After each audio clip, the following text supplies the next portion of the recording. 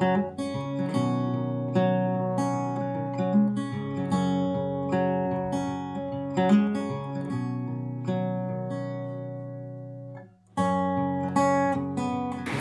står jag utanför ambulansingången. Här kommer patienterna att tas in på området. Om man tittar längre åt höger bort igenom så kommer man dit personalen går ut och in.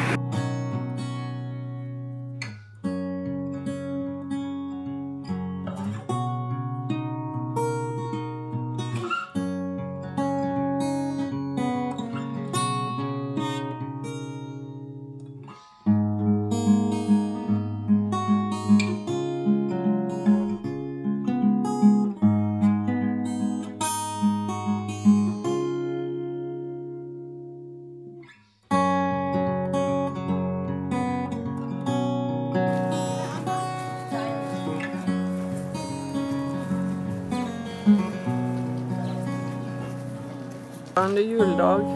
Det är ingen sol, det är lite halvmulet men det är jättevarmt och fuktigt så svetten bara rinner. Jag har hjälpt några som skulle gå in till patienterna. Sen så har jag suttit och skrivit lite på schemat för de som jobbar på mental health. Och sen så har jag varit över på besöksdelen och tittat så där är i ordning. Ska jag gå ut och fortsätta och se om jag kan göra någon nytta.